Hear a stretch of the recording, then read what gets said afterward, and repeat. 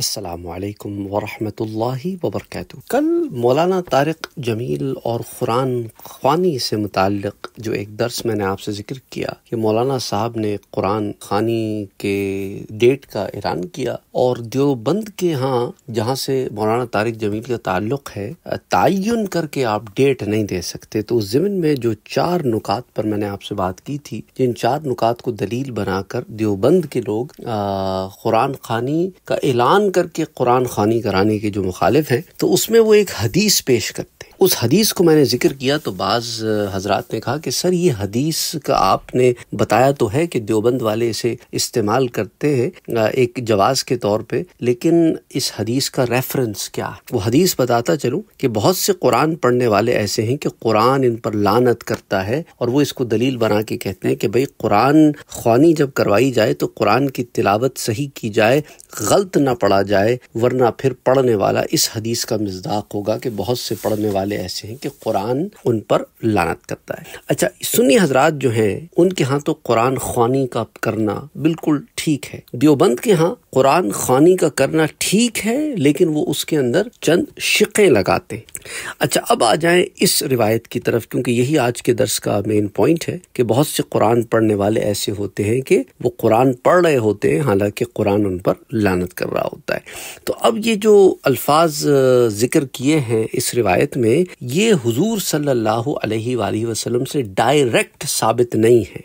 हाँ सहाबा के अकवाल है। हज़रत अनस इब्न मालिक, हज़रत आयशा सिद्दीक़ा रदी अल्लाह तहा इनके अकवाल हैं। तो सहाबी का जो कौल होता है, उसे हदीस की ज़बान में असर कहते हैं, अलिफ से रे। और बाज़ मुहदसिन ने बाजाबता सहाबा के अकवाल पर हदीस की किताबें लिखी है, उन्हें अल आसार कहते हैं, जो असर की जमा है। तो इनका ये असर है और यही कौल फिर मैमून बिन महरान का भी है, जो कि एक ताबई है। तो मैं आपसे ये ज़िक्र करता चलूँ, ये कहाँ कहाँ ये अकवाल और आसार आते हैं। हज़रत अनस इबन मालिक का जो असर है, उसे इमाम गजाली ने अपनी किताब अहयाउलूमुद्दीन में ज़िक्र किया है, लेकिन उसमें सनद नहीं पेश किया अनस इब्न मालिक से ये आपने रिवायत ज़िक्र की है कि बहुत से लोग कुरान की तिलावत करने वाले ऐसे होते हैं कि वो कुरान पढ़ रहे होते हैं, हालाँकि कुरान उन पर लानत कर रहा हो। हज़रत आयशा रज़ी अल्लाह तहा के असर को बगैर सनत के इब्नुल हाज मालिकी ने अल मुदखल में इन अल्फाज के साथ ज़िक्र किया है कि कितने ही कुरान करीम पढ़ने वाले ऐसे हैं कि जो कुरान करीम पढ़ते हैं, हालाँकि कुरान इन पर लानत करता है। अच्छा अब इसके अंदर मैं आपको बताता चलूँ कि हज़रत आयशा सिद्दीक़ा रदी अल्लाह तहा ने यहाँ एक मिसाल से भी समझाया। वो मिसाल आप समझ लें ताकि आपको बात जरा वाजे हो जाए। आपने क्या फरमाया कि वो कुरान में ये पढ़ रहा होता है कि खबरदार अला लानतुल्लामीन के जालिमों पर अल्लाह की लानत है। हालाँकि वो खुद बहुत बड़ा जालिम होता यानी जालिम कुरान पढ़ रहा है, इन आयतों पर से गुजरता है और इन आयतों का कोई असर कबूल नहीं कर इससे कोई हिदायत नहीं लेता, जुल्म करना बंद नहीं करता। तो ऐसे कुरान पढ़ने वाले जो कुरान पढ़ता तो है, पर इससे हिदायत नहीं लेता, वो कुरान की लानत का मुस्तक ठहर। समझ आई बात आप? तो मायशा सिद्दीक़ा अल्लाह तहा ने एक मिसाल से भी इस बात को समझा दिया है। अच्छा इसी तरह मेहरान बिन महमून अच्छा ये मैंने आपको बताया कि इसे हज़रत आयशा सिद्दीक़ा से इब्नुल हाज मालिकी ने अलमतखल में ज़िक्र किया। इसकी जिल्द दो, सफ़ा 295 और इसी तरह जो है, आपसे मैं वो भी ज़िक्र करता चलूँ, जो महरान बिन महमून जो एक ताबई हैं, उनका कौल है, जिसे इमाम इबन अबी हातिम ने अपनी तफसीर में नकल किया है। तफसीर कुरान इबन अबी हातिम, उसमें हदीस eight thousand four hundred and eighty four. जिल्द पाँच, सफ़ा 1482 इसमें हदीस लाते महरान इब्न महमून रहमतुल्लाह ताबई हैं, फरमाते रिवायत करते हैं कि यकीनन आदमी नमाज़ पढ़ता है और क़िरात में अपने आप पर लानत करता है, क्योंकि वो कुरान मजीद की इन आयात से गुजरता है कि अला लानतुल्लामीन के खबरदार जालिमों पर अल्लाह की लानत है। हालाँकि वो खुद जालिम हो। अब ये, अब मैंने आपसे आसार शेयर कर दिए, अकवाल शेयर कर दिए। अब इसमें तशरी में आ जाते हैं कि सवाल ये होता है कि कुरान करीम पढ़ने वाले पर तो रहमत नाजिल होती हैं। तो फिर इस असर का क्या मतलब है कि कुरान करीम अपने बहुत से पढ़ने वालों पर लानत करता है? अहियाद्दीन की शरा इतहाफ़ुसादमतकीन में इस कौल की तशरी से इस असर का मतलब वाज हो जाता है कि बाज़ असलाफ ने फरमाया कि एक बंदा जब कुरान करीम की कोई सूरा शुरू करता है तो कुरान करीम इसके लिए रहमत की दुआ करता है। यहाँ तक कि वो बंदा इसकी किरत से फारग हो जाता है। और एक बंदा जब कुरान की कोई सूरा शुरू करता है तो कुरान करीम इस पर लानत करता है, यहाँ तक कि वो बंदा इसकी किरत से फारग होता है। तो कहा गया कि ये कैसे होता है? तो जवाब में फरमाया कि जब कुरान की हलाल करदा चीज़ों को हलाल जाने और हराम करदा चीज़ों को हराम जाने, यानी इसके अवामिर और अहकाम को पूरा करे, इसके मना करदा चीज़ों से अपने आप को रोके तो कुरान उसके लिए रहमत की दुआ करता है और अगर ऐसा ना करे तो लानत करता है। ये इसकी एक तशरी आ गई। बाज़ुलमा ने फरमाया कि बंदा बसा औकात तिलावत करता है तो अपने ऊपर लानत करता है। हालाँकि इसको, इसका पता भी नहीं होता, क्योंकि वो आयात, आयत पढ़ रहा होता है। मिसाल के तौर पर खबरदार जालिमों पर अल्लाह की लानत है, हालाँकि वो खुद अपने ऊपर या दूसरों पर जुल्म करता है। तो ऐसा पढ़ने से वो अपने ऊपर खुद लानत कर रहा होता है। अच्छा इसी तरह वो एक आयत से गुजरता है कि अला लानतुल्लाकादिबीन के खबरदार झूठों पर अल्लाह की लानत है। हालाँकि वो खुद झूठों में से होता है। खुलासा कलाम क्या हुआ कि इन अल्फाज का हुजूर सल्लल्लाहु अलैहि वसल्लम से डायरेक्ट साबित नहीं है, बल्कि हज़रत अनस का असर है, हज़रत आयशा का असर है। लिहाजा इसकी नस्बत हुजूर वसल्लम की तरफ़ नहीं हो सकती। तो हयाउलुद्दीन जल्द एक, सफ़ा टू सेवेंटी फोर इतहाफ़ुसादा अलमुत्तकीन बिशर हयाउलुद्दीन ये जो मैंने आपसे इसकी शरह बयान की है। इतहाफ़ुसादा से इसकी जिल्द चार सफ़ा फोर सिक्सटी नाइन पर यह शरह बयान होती है।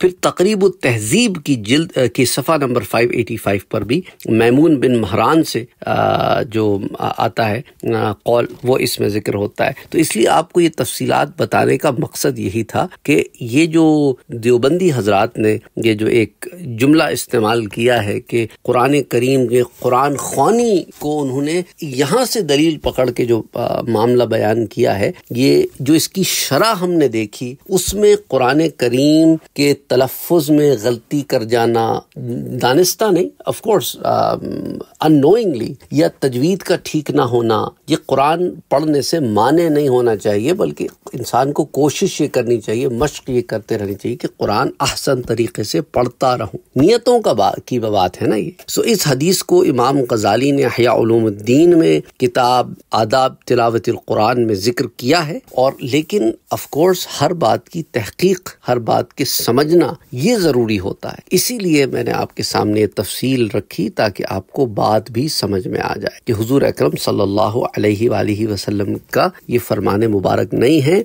बल्कि क्या है? असर है। असर क्या होता है? किसी सहाबी का कौल होता है या सहाबिया का कौल होता है। तो यहाँ हमने हज़रत अनस इब्न मालिक का कौल और हज़रत आयशा सिद्दीक़ा रदी अल्लाह तहा का कौल आपके सामने रखा और एक ताबे का कौल रखा है। बार बार बातें मैं आपको इसीलिए बता रहा हूँ ताकि आपके लिए इसको समझने में आसानी हो। अब इसी हदीस को जो हज़रत अनस इब्न मालिक से जो असर आता है इसके मुतालिक आला हज़रत क्या फरमाते इमाम अहमद रज़ा ख़ान रहमत फरमाते हैं कि आपने इसको तजवीद के बाब में भी लिया है। आप कहते हैं कि इतनी तजवीद सीखना कि हर हर्फ दूसरे हर्फ से सही मुमताज़ हो, ये फ़र्ज़ आइन है। ये क्या है तुम पे? फ़र्ज़ आइन है। हर एक के लिए लाजिम है। इसलिए अपनी नमाजों में वो सूरतें पढ़ो जो तुम्हें अच्छी तरीके से सही तौर पर याद हों। और अगर तुम्हें लगता है कि तुम्हें सही तौर पर सूरतें याद नहीं है तो इसकी मश्क करो। आजकल के ज़माने में तो बड़ा आसान है। अगर आपको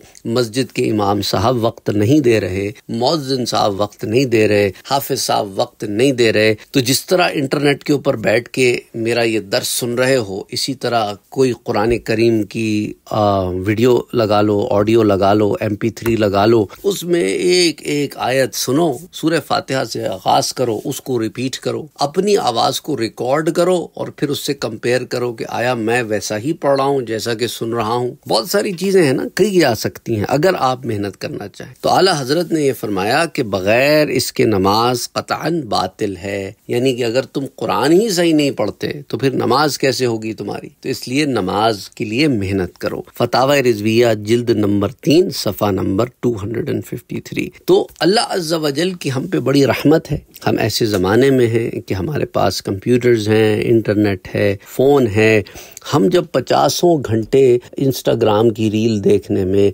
फेसबुक की रील्स देखने में यूट्यूब पे बैठ के शॉर्ट्स देखने में टिकटॉक देखने में लगा सकते हैं तो इतनी सहूलतों के बाद कुरान करीम में मेहनत क्यों नहीं कर सकते? That is the million dollar question फिर आप ये भी फरमाते हैं आला हज़रत कि बिलाशुबा इतनी तजवीज जिससे हरूफ जो है वो आसानी से उसके मखारिज से अदा हो और गलत पढ़ने से बचें, ये भी फ़र्ज़ आइन है। ठीक है? तो गलत ख्वानी जिसे कहते हैं ना, गलत पढ़ने से बचना, ये भी फ़र्ज़ आइन है। फतावा रिजविया, जिल्द नंबर छह सफ़ा थ्री फोर्टी थ्री तो इसीलिए इसको आप दलील बना के ये कह सकते हैं कि ऐसा शख्स जो कुरान करीम पे मेहनत कर सकता है फिर मेहनत नहीं करता। तो वो भी तो कुरान के खिलाफ अमल कर रहा है ना। कुरान क्या कहता है? मुझे कैसे पढ़ो? ठहर ठहर के पढ़ो। आहिस्ता आहिस्ता पढ़ो। मुझमें तदब्बर करो। मुझमें गौर व फ़िक्र करो। और ये आदमी जो है कुरान को बड़ा लाइटली ले रहा है, इस पर मेहनत नहीं कर रहा।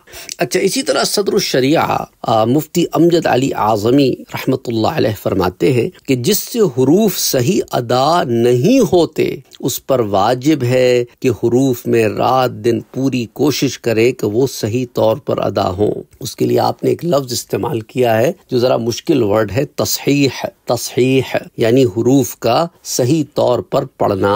बाहर शरीयत, जिल्द एक, सफ़ा पाँच सौ सत्तर। तो अगर हम भी दुरुस्त कवायद व मखारज के साथ कुरान करीम पढ़ने के ख्वाहिशमंद हैं तो हमारे पास मौाक़े मौजूद हैं। अगर हम मेहनत करना चाहें तो बिल्कुल कर सकते हैं। बहुत सारे लोग इसमें कार फरमा हैं, जो आपको ये सर्विसेज़ प्रोवाइड करने के लिए आपके अतराफ व अकनाफ में मौजूद हैं। पाकिस्तान, इंडिया, बांग्लादेश वगैरह के इलाकों में तो ये सहूलतें हमारे इलाकों से ज़्यादा मौजूद हैं। यहाँ पर तो हमें मुसाफतें करके जाना पड़ता है, वक्त लेके इंतज़ार करना पड़ता है। वो पूरे शहर में एक हाफिज होता है पूरे पूरे शहर में, कभी ऐसे भी होता है, पूरे शहर में एक हाफिज भी नहीं होता, बराबर वाले शहर में जाना पड़ता है। वो भी अब ऐसे हालात पैदा हो गए। पहले तो ये था कि बड़े बड़े शहरों में सिर्फ़ उफाज होते थे, और वो भी वो जो पाकिस्तान, इंडिया से आते थे। अब तो अल्हम्दुलिल्लाह, सुम्मा अल्हम्दुलिल्लाह, यहाँ पर अपने हुफाज यहाँ से, यहाँ के मदारस से जो है वो हिफ्स करके निकल रहे हैं। और माशाल्लाह, अल्हम्दुलिल्लाह, सुम्मा अल्हम्दुलिल्लाह आगे हिफ्स की तालीम भी दे रहे हैं। तो हुजूर अकरम सल्लल्लाहु अलैहि वसल्लम का फरमान भी है कि तुम में बेहतर शख्स वो है जो कुरान सीखे और सिखाए। बुखारी शरीफ की रिवायत है, हदीस नंबर 5072 और इसी तरह सही मुस्लिम की एक हदीस है कि जो कुरान पढ़ने में माहिर है, वो किरामन कातबीन के साथ है।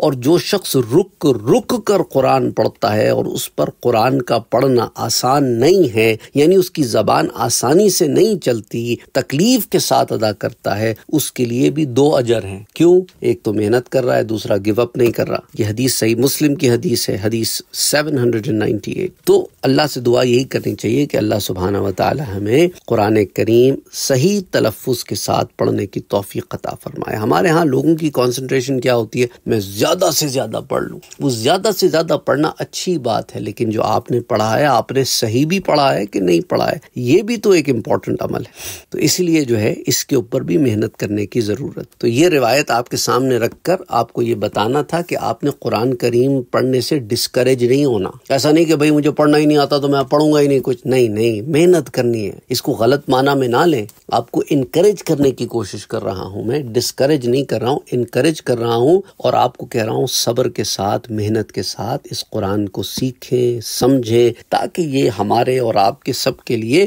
क़यामत में शिफात का ज़रिया बने, कब्र में हमारे लिए ये एक ढाल बने, हमें अजाब से बचाए अल्लाह के हुक्म से। तो इसीलिए ये बहुत ज़रूरी है। बहरहाल, मैं उम्मीद करता हूँ कि इससे बात आपको समझ में आ गई होगी। तो अगेन सुन्नी हजरात के यहाँ कुरान खानी का करना बिल्कुल जायज़ है। इन शराइ को हम नहीं लगाते, लेकिन देवबंद के लोग ये शराइ लगाकर मुकैद करते हैं। लेकिन अफसोस की बात यह है कि जब उनके अपने लोगों पर यह बात आती है तो वहाँ पर वो शराइ जो है वो इतनी जो है वो इम्प्लीमेंटेड होती नहीं, नज़र आती इम्प्लीमेंट होती नहीं, नज़र आती, बल्कि वो इन शराइ को ज़िक्र ही नहीं करते। लेकिन अगर सुन्नी हजरात करें तो वो फिर इन शराइ को बार बार रिपीट करते हैं। That is unfair and that is not acceptable Aslam